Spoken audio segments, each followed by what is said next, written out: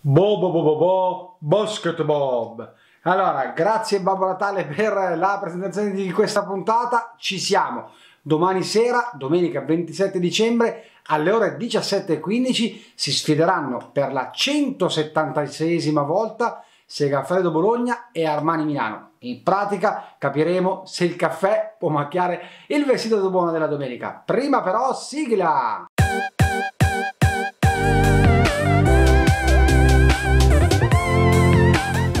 Finalmente dunque sta per arrivare il momento che tutti aspettavamo. Salutiamo Babbo Natale, facciamo gli auguri a voi e a lui. Lui si è già iscritto al canale, mi raccomando fatelo anche voi, cliccate lì in basso per restare sempre aggiornati su ogni mio nuovo video. Dicevamo, di che cosa si parla in questa puntata? Si parla di pallacanestro ovviamente, del big match di Serie A ormai alle porte, quello tra Bologna e Milano che si affronteranno domani domenica 27 dicembre, come dicevo prima, alle 17.15 a Bologna. Sta per arrivare dunque il giorno che tutti aspettavamo. Domani si gioca questo big match, il Derby d'Italia. Pensate che è una partita che ha solleticato di nuovo anche l'attenzione della Rai che manderà la gara in diretta su Rai 2. Dovrebbe esserci, visto che l'altra volta la gara in diretta sulla Rai poi non era andata proprio come sperato per Bologna, per la Rai e anche per la pallacanestro italiana, dicevo dovrebbe esserci, viste le varie vicende delle ultime settimane, ora ve le racconto, anche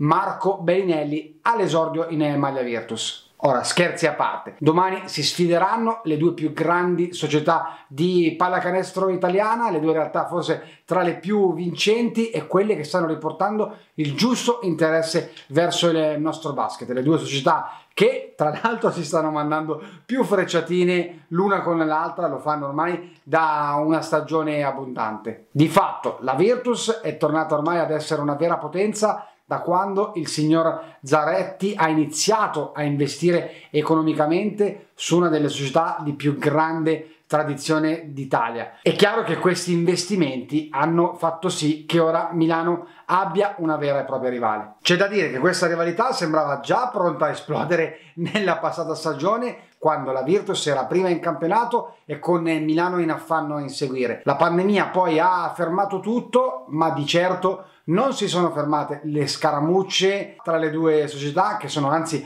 andate avanti in tutti questi mesi. Il primo round dell'anno nuovo, nella finale della Supercoppa italiana di qualche mese fa, se l'ha giudicata l'Olimpia, ormai però come dicevo è passato qualche mese rispetto a quella partita e ora siamo pronti ad assistere a una sfida diversa. In mezzo, tra le altre cose, c'è stato anche lo spazio per l'esonero di coach Sasha Giorgic, che tra il 7 e l'8 dicembre scorsi, diciamo così, Patron Zanetti non aveva gradito che Giorgic non avesse fatto giocare Marco Bellinelli, fatto sta che non si capisce se non fosse stato avvisato della cosa il patron o se comunque eh, Giorgevic volesse farlo giocare ma poi per un problema fisico avesse cambiato idea, dicevo Bellinelli che era arrivato fondamentalmente qualche giorno prima a Bologna, dopo essere stato per tantissimi anni in NBA, era stato presentato con tutti i crismi della superstar, la Rai voleva fare la diretta di quella partita e soprattutto Patron Zanetti aveva aveva indotto, diciamo così, amici e parenti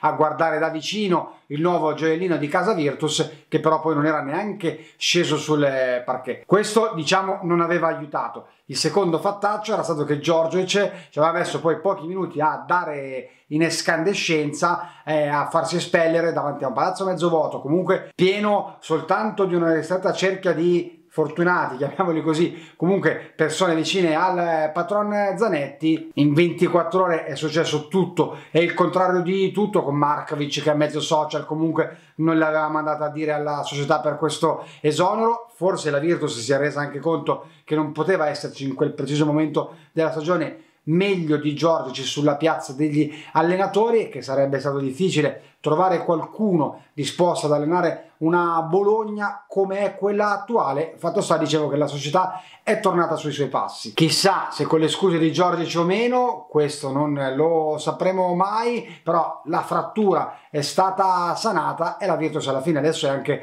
reduce da 5 vittorie di fila. Dall'altra parte Milano il suo compito lo sta facendo egregiamente, due settimane fa si era fatta sorprendere nell'altro big match in casa contro Brindisi, ma poi Messina il suo posto in cima alla classifica della nostra Serie A se l'è ripreso già la settimana scorsa sfruttando proprio la sconfitta di Brindisi in casa. Certo è che lo scivolone con vittoria in Eurolega di qualche giorno fa non ha aiutato Milano, ma sono sicuro che, questa, che quella che arriverà domani non sarà una partita presa sotto gamba dall'Olimpia come magari le capita di fare qualche volta in campionato perché gli impegni di Eurolega sono tanti, tra l'altro ce ne sarà poi anche uno mercoledì che chiuderà il 2020 di Milano che sfiderà il eh, CSK Mosca in Eurolega appunto. In mezzo a tutto questo dicevamo ci sono state scaramucce di ogni tipo, da Baraldi che non si è mai risparmiato di lanciare frecciatine verso Milano, a Messina che ha risposto per le rime e a tante altre situazioni. Vi cito un po' le due che mi hanno divertito di più. Allora, allora, a giugno, patron Zanetti che dichiara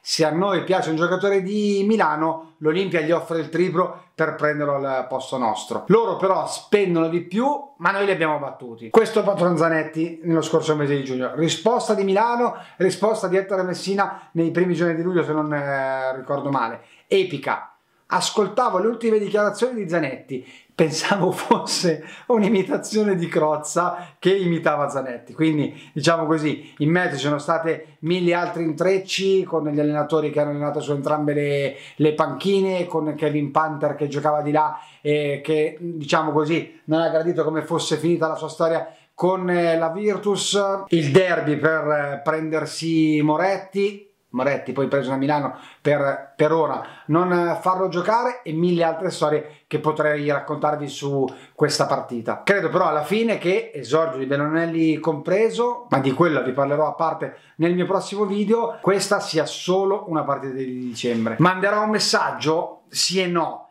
perché poi di questi messaggi credo ci si dimentichi in fretta, soprattutto tra i giocatori, e perché da dicembre a giugno possono cambiare mille cose. Sarà una partita divertente? Speriamo. Chi la vince? Io vado con eh, Milano, ma aspetto i vostri pronostici, vi aspetto quindi nei, nei commenti, sono sicuro che sarà una bella partita, una partita che mi auguro possa andare avanti punto a punto per tenere eh, il più possibile incollate le persone alla tv in un palcoscenico indubbiamente come la RAI, in un eh, campo purtroppo vuoto, ma dicevo in un palcoscenico eh, come la, la RAI che riprenderà la partita in diretta di domenica alle 5, guardatela, commentate sotto questo video e poi dicevo la sorpresa sarà il prossimo video interamente dedicato a Marco Bellinelli visto che domani sarò live a Bologna per la sfida tra Virtus e Olimpia. Ci vediamo alla prossima, buon basket a tutti, ciao e ancora tanti auguri.